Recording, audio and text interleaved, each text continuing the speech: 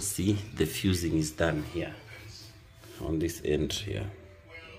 And see that? This one. Of course i'm touching because i'm sure i've dis discharged the capacitor 200%. there are several ways to discharge a capacitor. You can always use uh, something like this. Of course not recommended. You just connect the terminals over here.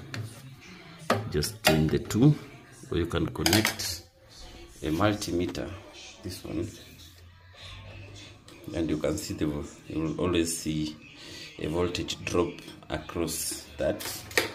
And then another way that you can use to discharge a capacitor is just to disconnect from power and leave it for some time. So it will uh, discharge and you'll be safe around this space okay so that is not the cause of this video today. So we need to look for a replacement of this this one.